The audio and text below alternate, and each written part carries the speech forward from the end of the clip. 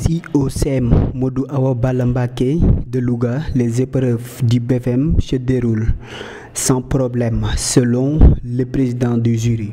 Bon, depuis hier, l'examen du BFM 2023 a démarré et dans des conditions euh, euh, très bien.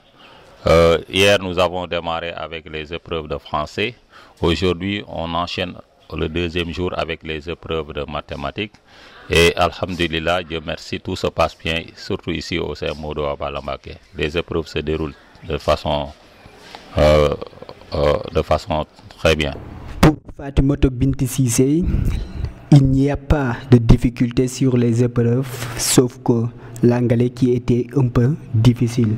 C'était un peu facile. Euh, il y avait des courbes et on nous avait dit de, euh, de décrire les courbes. Toutes les informations étaient euh, sur la copie, donc voilà, il n'y avait pas une difficulté. Et pour, c'était l'anglais qui était difficile. L'anglais était tellement difficile que voilà, mais on peut gérer quand même. Dans ce centre de Balla Mbacké, il n'y a pas d'absence notée par rapport au nombre d'élèves qui devraient subir les épreuves du BFM. C'est un centre que, euh, qui a 267 candidats, euh, dont à peu près 109 garçons et 158 filles. Parmi ces 267 candidats, nous avons enregistré 4 absents, dont 2 filles, 2 garçons. À part cela, vraiment, il n'y a pas de quoi à signaler.